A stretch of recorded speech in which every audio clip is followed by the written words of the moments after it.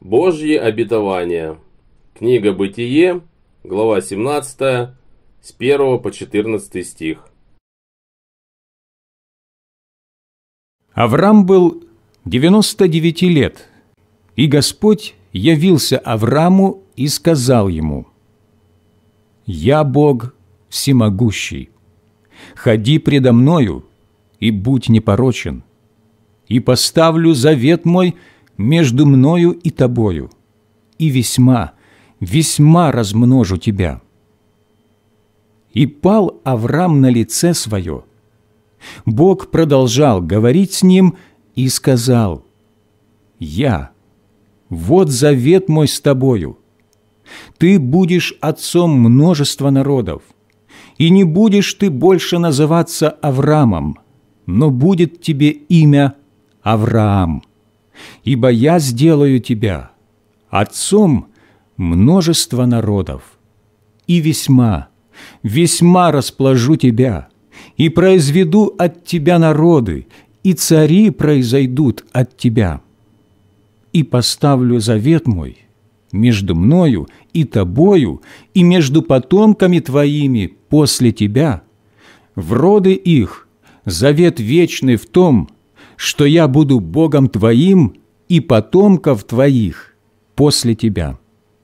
И дам тебе и потомкам твоим после тебя землю, по которой ты странствуешь, всю землю ханаанскую, во владение вечное, и буду им Богом. И сказал Бог Аврааму, «Ты же соблюди завет мой, ты и потомки твои после тебя в роды их. Сей есть завет мой, который вы должны соблюдать между мною и между вами, и между потомками твоими после тебя. Да будет у вас обрезан весь мужеский пол. Обрезывайте крайнюю плоть вашу, и сие будет знамением завета между мною и вами.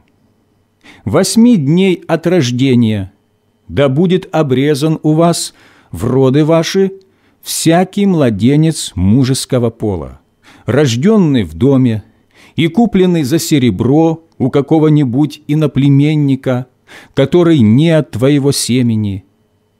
Непременно да будет обрезан рожденный в доме твоем и купленный за серебро твое, и будет завет мой на теле вашем заветом вечным. Необрезанный же – мужеского пола, который не обрежет крайней плоти своей, истребится душа-то из народа своего, ибо он нарушил завет мой».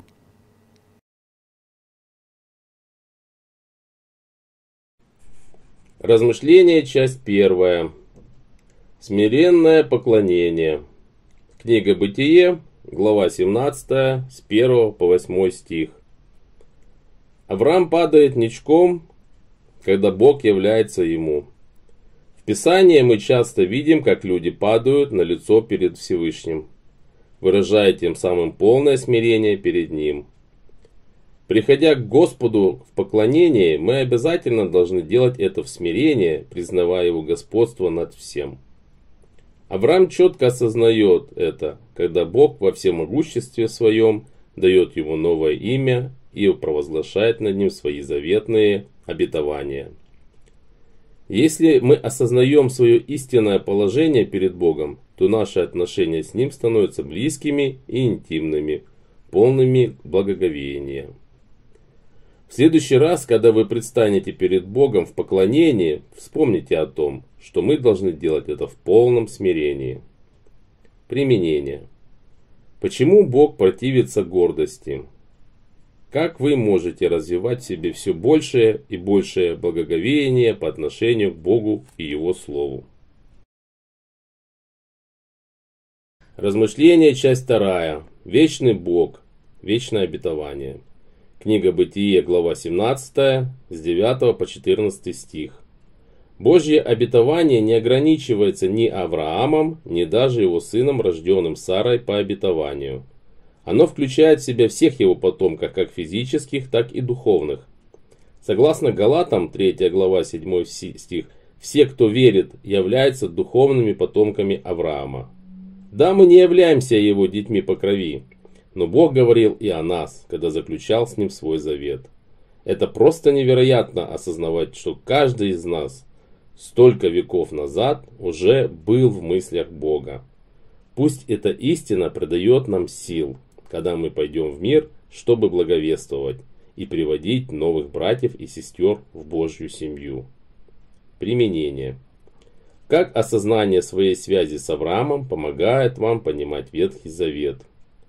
Как Божье обетование мотивирует вас благовествовать? Молитва дня.